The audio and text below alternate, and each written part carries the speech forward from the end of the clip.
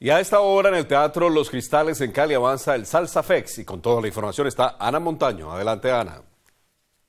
Muy buenas noches, me encuentro en el Teatro al aire libre Los Cristales, donde se está realizando el Mundial de Salsa hoy con las clasificatorias. En este momento me acompaña la secretaria de Cultura, Luz Adriana Betancourt. Secretaria, bienvenida a Telepacífico Noticias. Hablemos un poquito de las clasificatorias que se están realizando el día de hoy.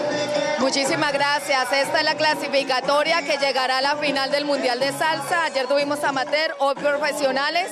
1.326 bailarines compiten por lograr cupos para llegar a la final del Mundial de Salsa que inicia el 27 de septiembre. Hay una nueva categoría que se implementó y fue solista hombre. ¿Por qué se realiza esta categoría?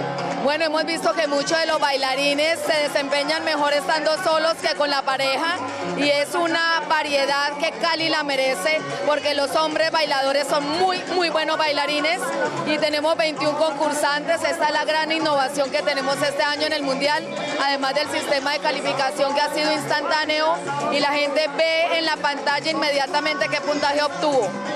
Secretaria, muchísimas gracias. Esa es toda la información. Ana Montaño para Telepacífico Noticias.